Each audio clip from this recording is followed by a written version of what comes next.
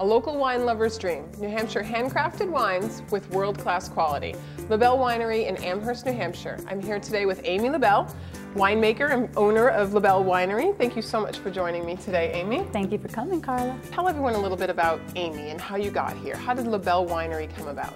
When I was traveling in Nova Scotia and I came across a small winery and I, I, I happened in because I was on vacation and had time. And the people there were, were, making blueberry wine that day and I really had that lightning bolt moment. So um, I said, you know, I, think I'm supposed to be doing this or I, need to at least investigate this. And uh, I still get goosebumps when I think about that story because it really was the defining moment in my life, you know, for me. So I, I went home and I, I, studied for about a month and then at the end of that month I began making my first batch. I made a, a one gallon batch of blueberry wine and uh, the rest is history. So tell us a little bit about the wines you do make here.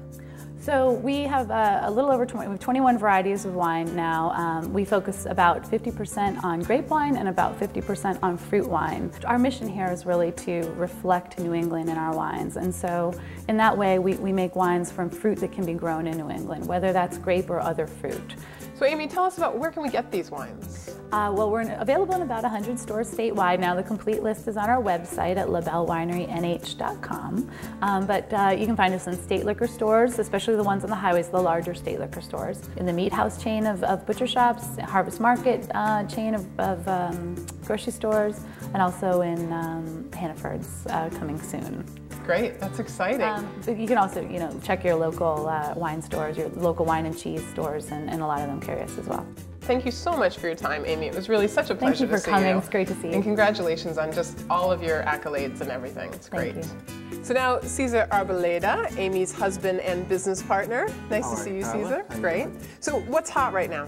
What's hot? Well, uh, every month something's really hot, uh, but this month in particular, up until the, the, the holidays, uh, cranberry wine.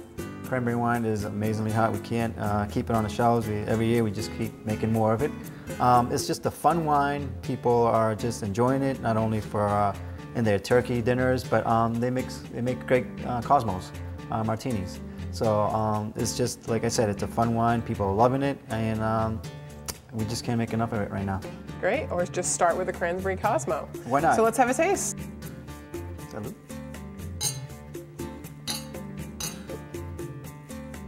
Wow, that is really, that's fabulous, Cesar. Amy, nice job.